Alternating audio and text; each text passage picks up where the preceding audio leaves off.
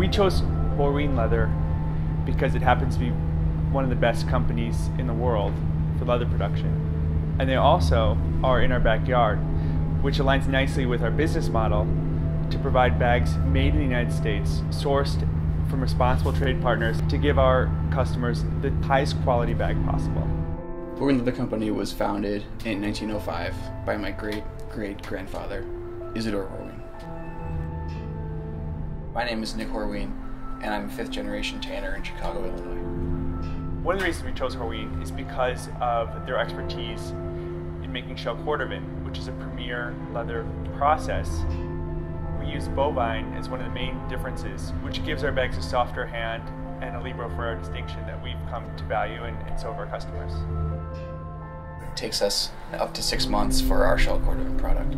So we receive the hides in, in their raw cured state, and from there we trim and inspect the hides. Uh, after we've done that, we load them into mixers where we can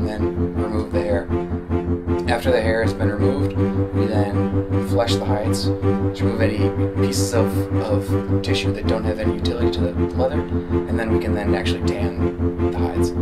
This can be done one of three ways, uh, either vegetable tanning in pits, vegetable tanning in drums, or chrome tanning in drums. Uh, at this point, the leather is not perishable any longer, but it will dry like a board. So the next step after tanning is blue sort. Sort is achieved by one uh, highly trained employee who goes through each individual hide and decides what product can, can reasonably be made out of that particular hide. After sorting, we split the hide to specific thickness.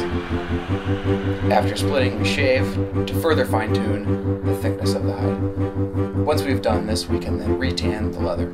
That is, we can introduce different vegetable or synthetic retanning agents and emulsify oils or waxes. We will then dry the leather now have a product that is considered stable and conditioned but needs to then be finished. Uh, the finishing process is achieved using a fully aniline process. Uh, that means that we don't use any pigments conceal any of the, the cosmetic sort of um, characteristics or beauty of the leather, that we use only clear stains and, clear coats to really let the, the natural character uh, of the leather show through.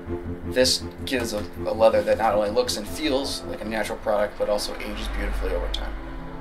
Shell Cordovan is a very special article because it was the original product that my great great grandfather tanned back in 1905. Uh, when we first started out, Shell Cordovan was the only product we made, and the, the formula has remained unchanged to this day.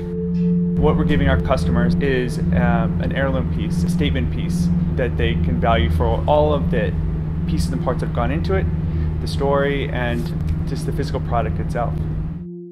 Quality is really paramount. We've we've worked really hard to to make products that we think are the best. We extend that same philosophy to our largest customers, such as Wilson, to everyone in between, all the way down to the smaller boutique customers such as Libero Ferrero.